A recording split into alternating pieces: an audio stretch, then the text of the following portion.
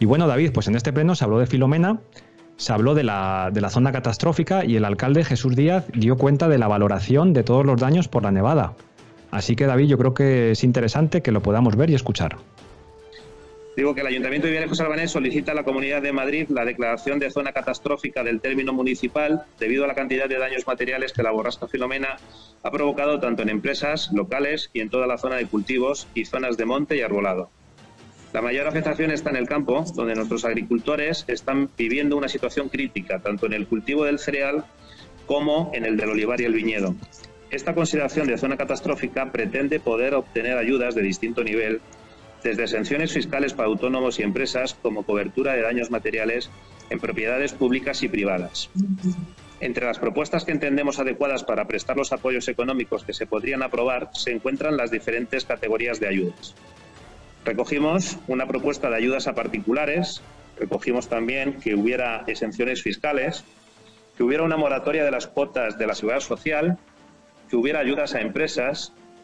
y en el ámbito de la agricultura eh, recogimos, pues, como digo, una vez que los agricultores y a través de su asociación, presidentes y secretarios nos trasladado esa información, pues datos tan escalofriantes como que este año se espera una campaña de más de 25 eh, millones de kilos de aceituna recogidas en, nuestro, en, nuestro, en nuestra comunidad, concretamente para hacer aceite de oliva virgen extra. En estos momentos solo se ha podido recoger el 40% de la producción y el 60% todavía queda en el campo por recoger y probablemente se dará por perdido. Más de 7 millones y medio de kilos de aceitunas se perderán en, esta en la región. También hablábamos de los daños del cereal y en este caso decíamos que en ese momento quedaba por sembrar el 20% del cereal de invierno del total de la superficie prevista. Lo que se estima que la superficie que queda por sembrar se esperan unas pérdidas de 1.200 kilos de grano por hectárea. Estas cuestiones hacían un poco que las dificultades, digamos, en el caso de regadíos, sembrar eh, de estas formas, lo que iba a provocar iba a ser un incremento en sus costes de producción del entorno del 15%. También recogimos en ese informe daños en la uva, donde valorábamos que por, por culpa, digamos, de Filomena, las producciones de uva disminuirían en un 10%. De la misma manera, hablábamos de los daños en infraestructuras de los agricultores y empresas agroalimentarias, donde se decían los desperfectos que estas naves privadas de agricultores, instalaciones en cooperativas e infraestructuras destinadas al almacenamiento de materias primas habían sufrido. En cuanto a los daños de ganadería,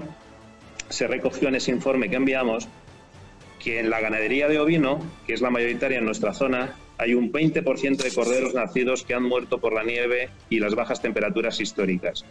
y que se estima que el 2% de ovejas adultas también han muerto y se perderá la producción de al menos cuatro días de leche, puesto que los camiones, por la nieve, los camiones cisternas que recogen esa leche, no podían acceder a las ganaderías.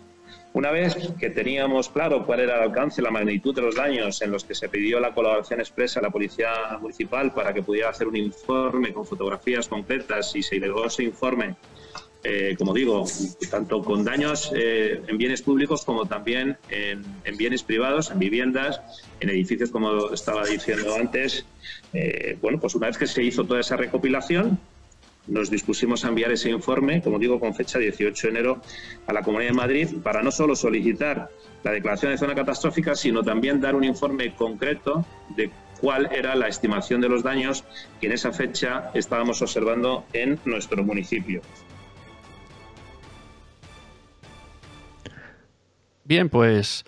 aquí tenemos otro documento gráfico que va a quedar para la posteridad, como muestra de, la que nos cayó en aquellos días sobre Villarejo. Pero tenemos